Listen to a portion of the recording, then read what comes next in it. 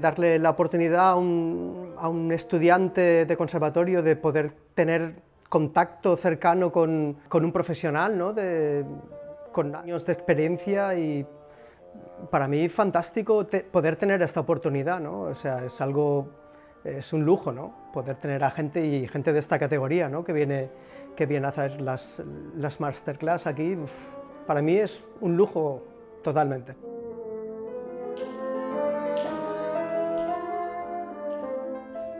El consejo que más he dado en estos días ha sido, tocamos el fagot, un instrumento de viento, y hay que soplar dentro del instrumento.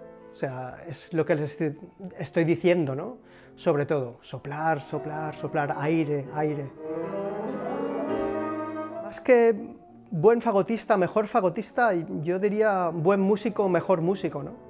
Simplemente no, no centrarlos en el ámbito del fagot, sino en general la música, ¿no?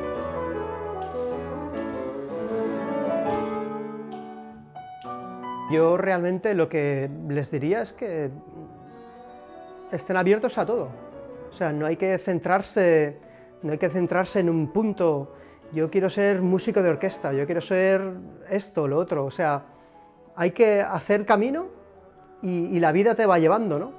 Pero no hay que cerrar puertas, hay que probar cosas y quién sabe que uno que empieza, intenta ser músico de orquesta, acaba siendo manager de, de, una orquesta o trabajando para una agencia, representante, compositor... O sea, hay que abrir el abanico, ¿no? O sea, y no centrarse, no sé, ¿por qué no, por qué no dedicarse a la música de cámara, orquestas de cámara, grupos de cámara, o crear su propio, su propio grupo también, ¿no? O sea, son iniciativas que están, que están pasando ahora, ¿no? De gente que se está creando sus, propios eh, grupos, ¿no? O sea, en, cuerda siempre ha habido los cuartetos de cuerda, ¿no?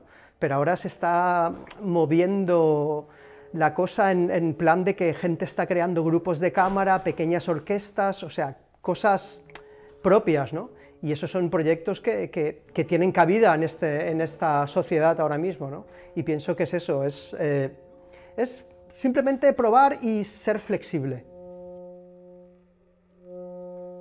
¿Ya es yo les daría el consejo de que, primero que disfruten, ¿no? Disfruten de lo que están haciendo y sobre todo que no tengan miedo, no tener miedo de miedo a fallar, miedo a, ir a otros sitios, a, no sé, experimentar cosas, probar, ¿no? Es cuestión de probar, que no, sobre todo que no tengan, no tener miedo, disfrutar y no tener miedo.